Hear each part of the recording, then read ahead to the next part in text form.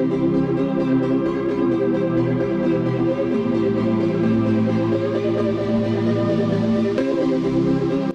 everyone, in this video I'm going to solve an example related to the case number 2 of Stadia method of tacheometric surveying in which the staff is being held vertical and line of sight is inclined.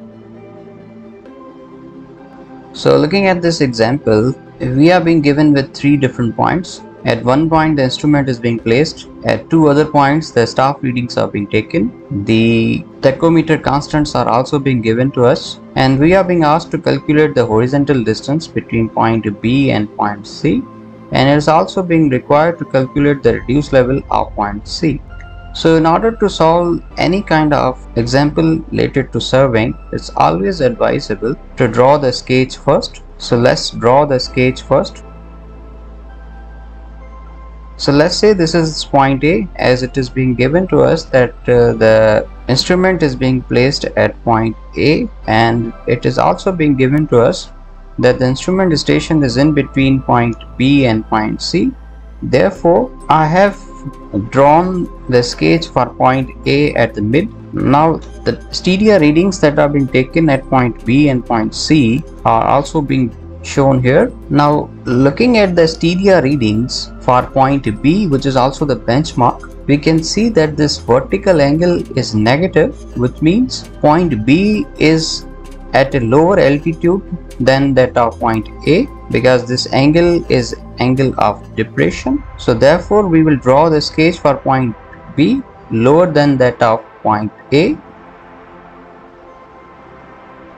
This is also the benchmark Similarly, you can see point C has an angle as angle of elevation means angle is given as positive 6 degree and 11 minutes. So therefore we will draw the sketch for point C higher than that of point A.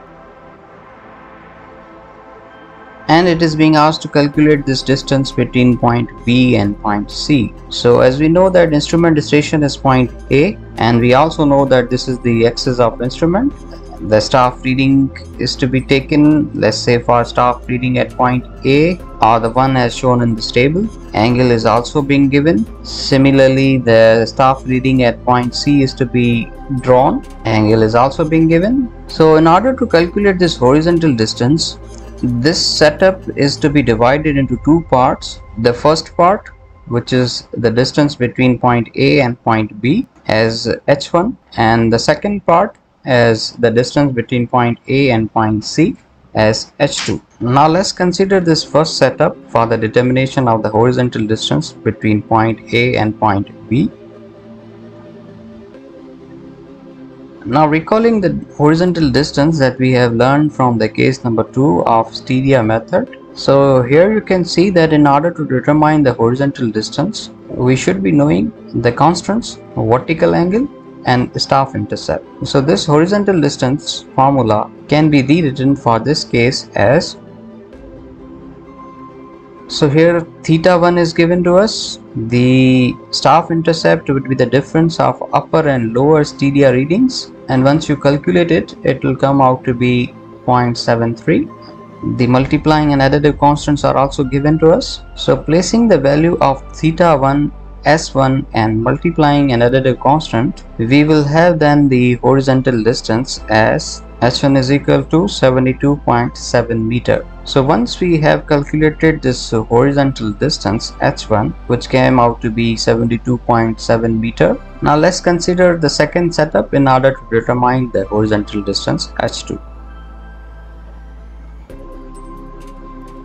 Now the same horizontal distance formula can be rewritten for this setup as h2 is equal to the formula. Here the staff intercept would be the difference of the upper and lower and once you will calculate it it will come out to be 1.12 and h2 the angle 6 degree and 11 minutes is also being given. The same multiplying constants would be used here. So placing the value of s2 theta 2 and the constants we can solve for the h2 and once you do the calculation it will come out to be 110.85 meter so now we have h2 as well so once we have h1 and h2 adding them together we will have the total horizontal distance as 183.55 meter. Now the next thing that is being asked to us is the reduced level of point C. So reduced level at the benchmark is given to us. So we will be looking for the reduced level at point C. So in order to determine the reduced level, we would be using the vertical distance formula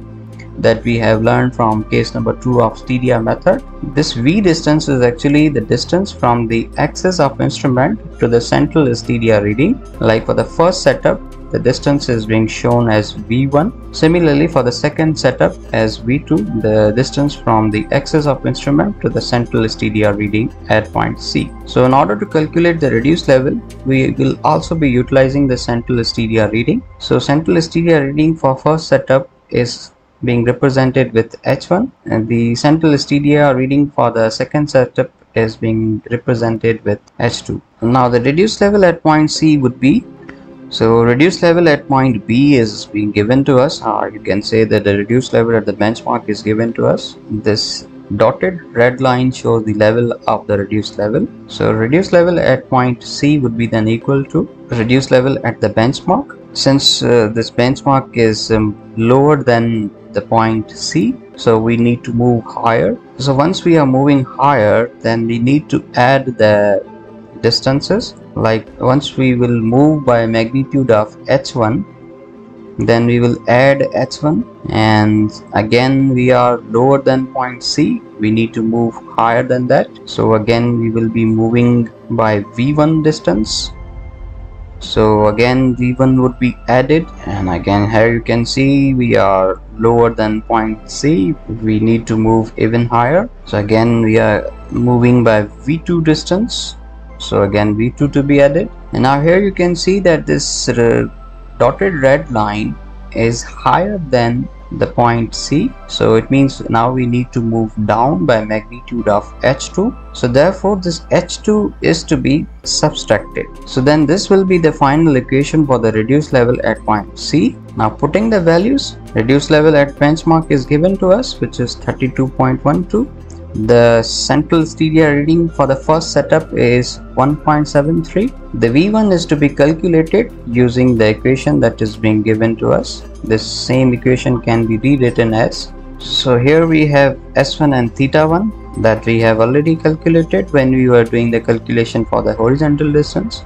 So putting the value of S1 and theta 1 and also the constants we can have then the v1 as 5.72 meter. So putting the value of v1 here again we need to calculate v2 so again this vertical distance formula can be rewritten as again we know theta 2 s2 and constants. Putting those values we will have then v2 is equal to 12.016 so that will be inserted here. And s2 is the central Stadia reading for the second setup. That is 1.22 and that will be subtracted so once you do the calculation you will get the reduced level at point C as 50.356 meter so this is how the calculation for the horizontal distance and the vertical distance or you can say the reduced level is to be performed when this kind of example is to be given. So this is all from this video. Thank you for watching this video.